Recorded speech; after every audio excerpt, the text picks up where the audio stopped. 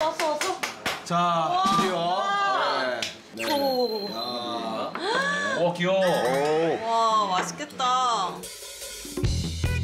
루, 찜, 로우. 로우. 예, 고기 판 밥. 그러니까 다진 거예요? 네, 약간 다져서? 쪄가지고 다진 아. 그런 밥이고. 홍로우판이라고 그 다지지 않는 밥이 있어요. 아, 난 다지지 않은 거 먹을래. 장조림 장조림 비빔밥이. 아니, 아니. 장조림 비빔밥 느낌.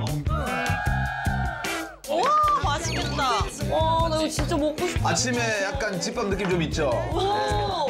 와 이거 반찬 진짜 많다. 잘 먹겠습니다. 알겠습니다. 나 이렇게. 비벼 먹는 거예요? 네, 이게 간장을 졸여가지고 밥에도 양념이 돼 있네. 요거를 이런 건 이게 노른자를 이렇게 해갖고 그지? 예, 우리가 간장밥 있죠. 간장밥에 밥 비벼 먹듯이 정말 그런 아침에 간단하게 먹기 좋은 그런 느낌으로 제가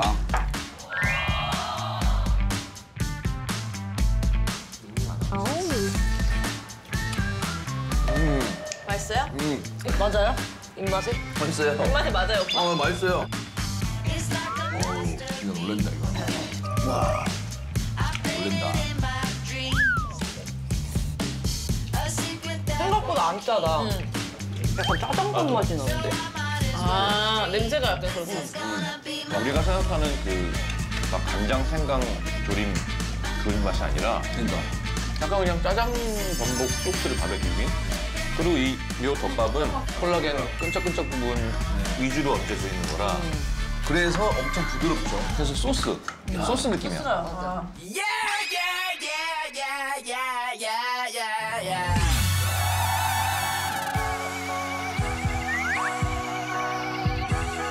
맛있다 이거 되게 부드럽다. 완전 부들부들 느낌인데. 와, 이거 진짜 매력적이다. 고기가 진짜 부드럽다. 어제 먹은 양지랑 확실히 느낌이 달라요. 음, 그래 조직감 있어. 아 이건 또 다른 맛이네. 와 부드럽다.